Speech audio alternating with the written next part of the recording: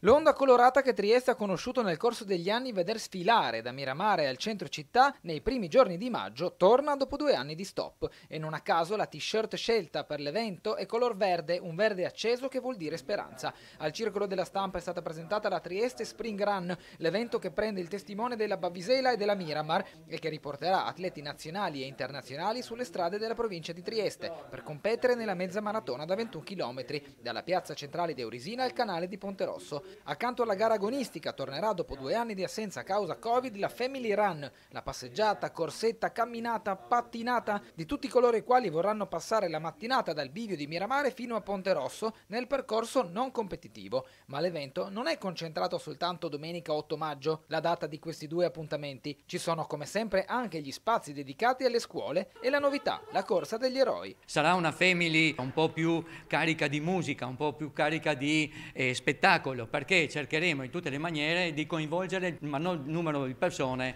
eh, a questo tipo di manifestazione.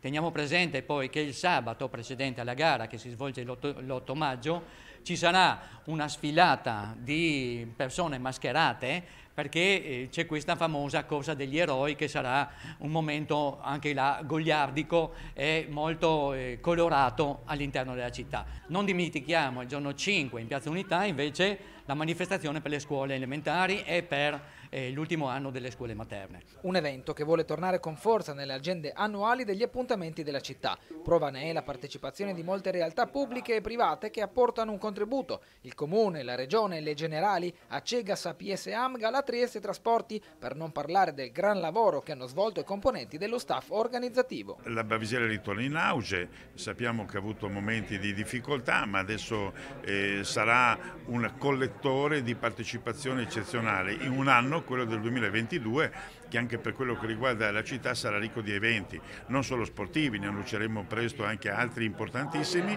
ma anche culturali.